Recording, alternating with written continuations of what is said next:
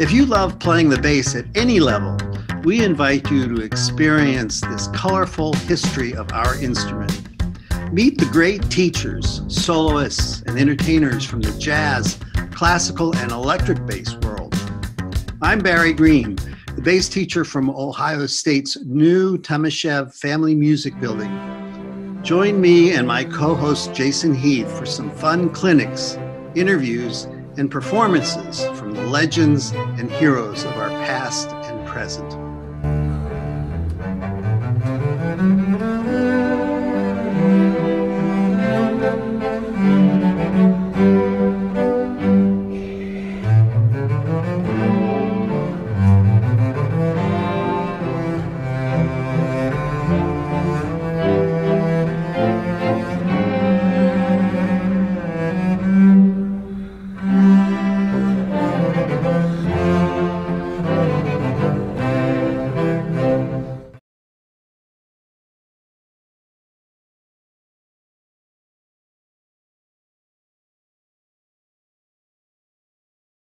On the bass, Indea.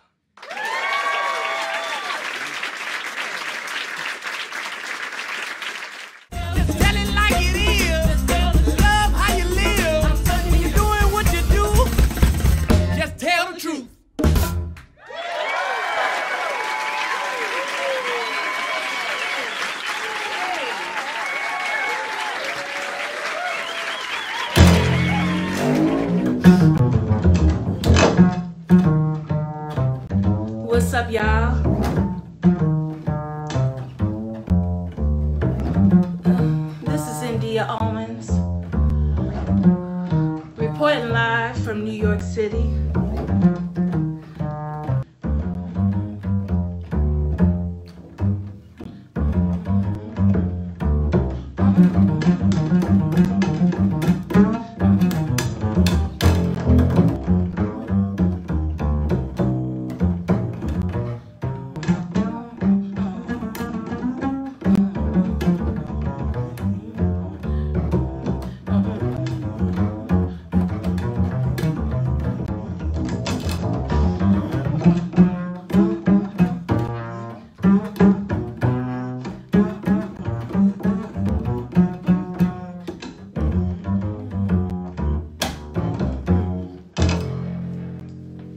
Peace, y'all.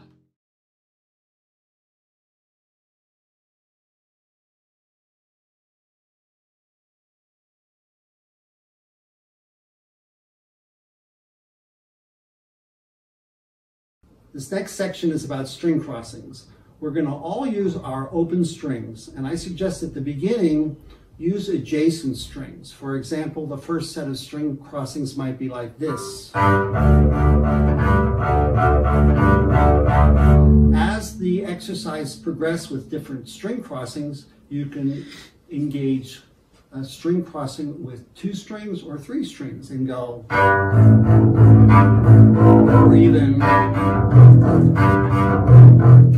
the rest is on the video. Enjoy your string crossing workout.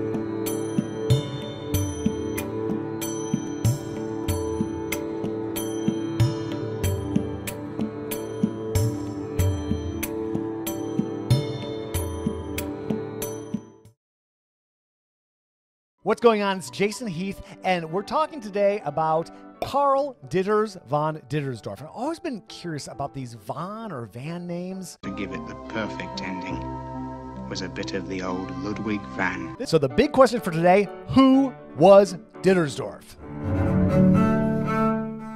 Dittersdorf was born in Vienna in 1739. His father was a military tailor in the Austrian Imperial Army under Charles VI.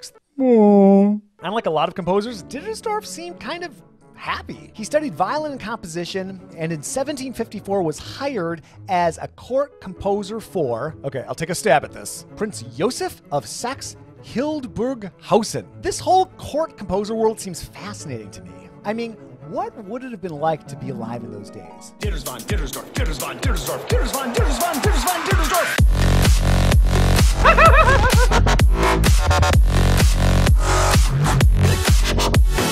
Okay, maybe not like that. He became acquainted with Christoph Gluck, who had just achieved greatness as an opera composer. In 1763, he traveled to Bologna with Gluck, a trip which would have a great impression on his future work as a composer. In 1764, Dittersdorf was given the position of court composer in Johannisberg in the modern day Czech Republic. This was when he also met the great Joseph Haydn, who would become one of his closest friends. Since this new post required a title, Dittersdorf was sent to Vienna and given the noble title of von Dittersdorf. His full surname thus became Ditters von Dittersdorf. But he's usually referred to simply as Dittersdorf. Johann Vanhal was perhaps Dittersdorf's most famous student. About 1785, Haydn, Dittersdorf, Mozart, and Vanhal played string quartets together. Dittersdorf taking first violin, Haydn second violin, Mozart viola, and Vanhal cello.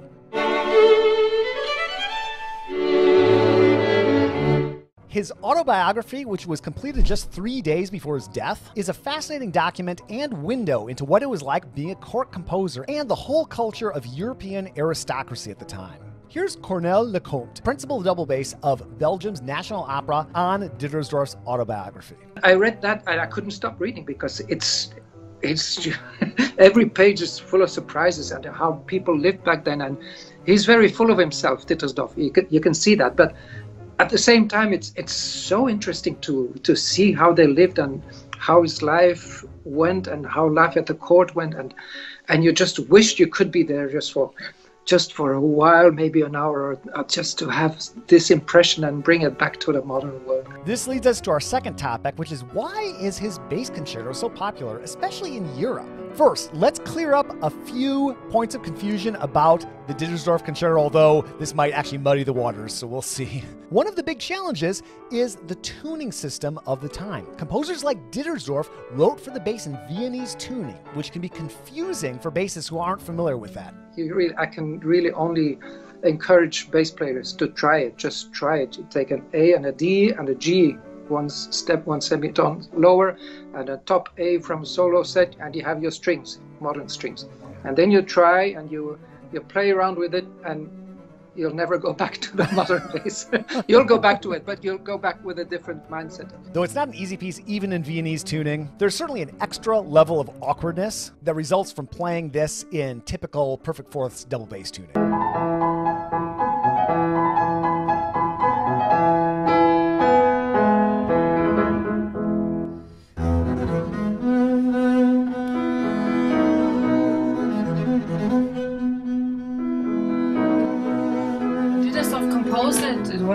70, 67. Well, that's the time ago, yeah. So Viennese tuning, so had his very great time. So and it was really la mode in in Vienna, Viennese tuning, and a lot of very strong uh, um, uh, double basses.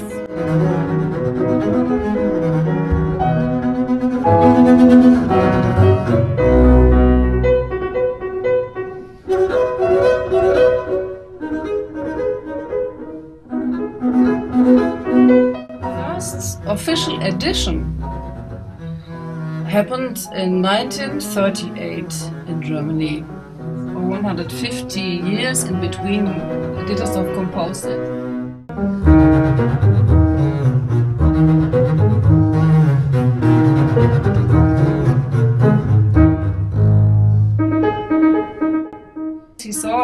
Some some things very difficult to play. So we, uh, yeah, so he made an addition for chord tuning.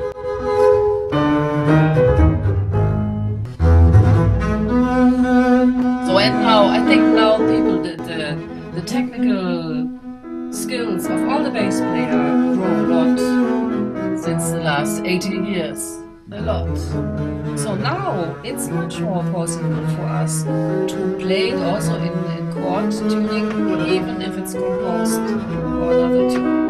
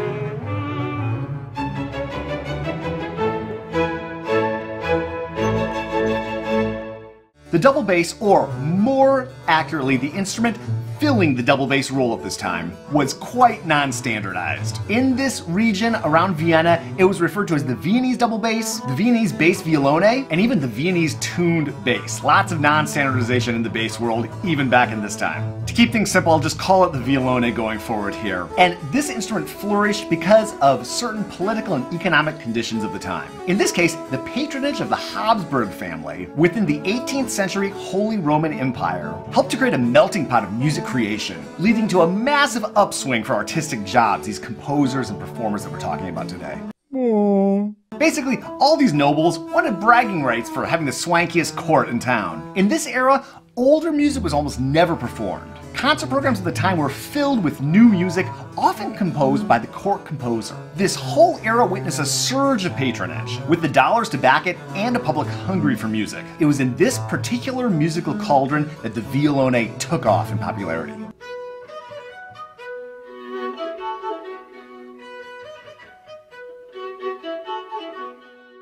The violone's secret weapon and its Achilles heel was its tuning system. Basically, this thing was optimized for D major, and that allowed for all kinds of fast passage work and arpeggiated passages all over the instrument. The instrument had codified into a five string model at this time, and it made keys like D, G, and A sound awesome on the bass.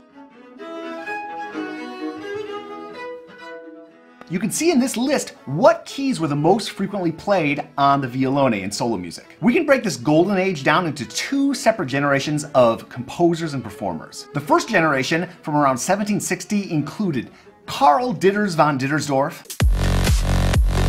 Joseph Haydn, and Frederick Pischelberger. I am the fearless. Mozart wrote this work for me. He shows great respect and honor. I'll be famous in posterity. The second generation started around 1780 and included composers like Mozart, Hoffmeister, Sperger, and Vanhal. So, what happened? Everything was going along great, this super cool era of virtuosity on this instrument. What happened? Well, this happened.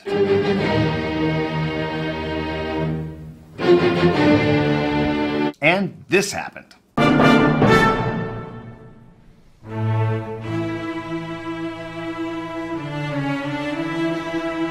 And then this happened.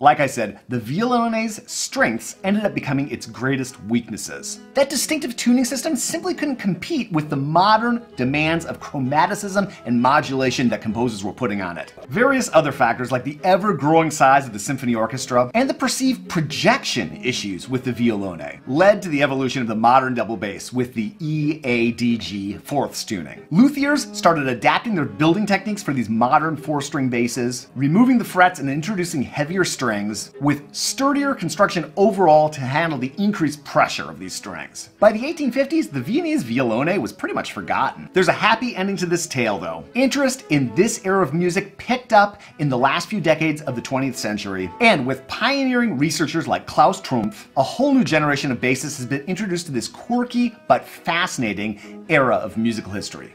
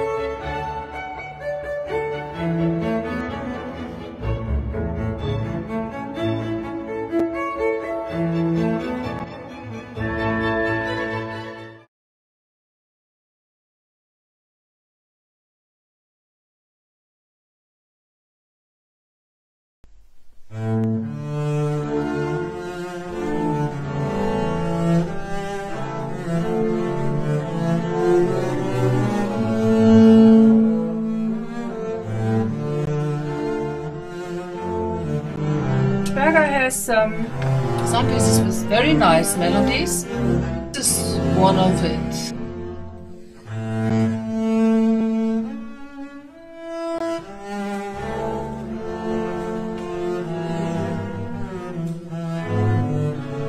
Um, well, it's, it sounds good, but how would it sound with, with five double basses? Uh, the arrangement for the opening concert of the Sperger competition in 2018. Jeff Bradetich joined us, and Gunars Upatnieks, Dan Styffe, and Hiroshi Ikematsu, so we were a very international quintet.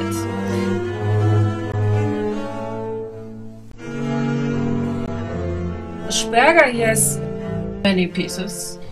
So a lot of chamber music and a lot of symphonies and also 18 double bass concerts.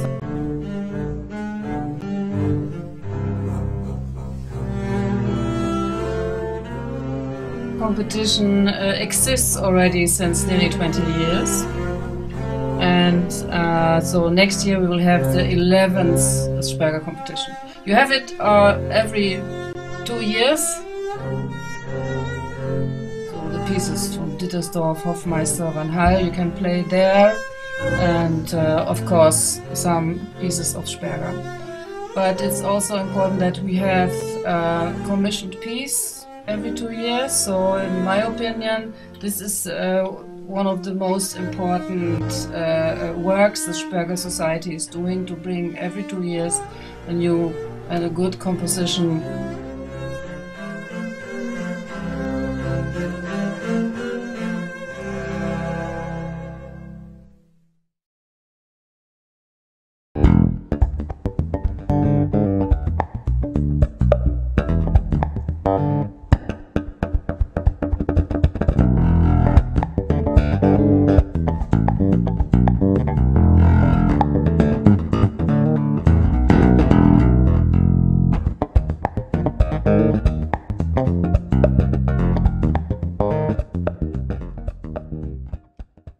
it sounds a little like a clave, so you can go.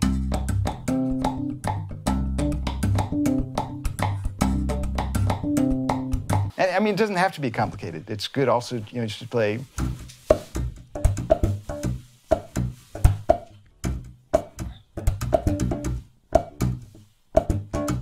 It's easier with notes. Yeah, yeah. And then here's a, you know, whole set of strokes here. And really it's just about, you know, putting these things together.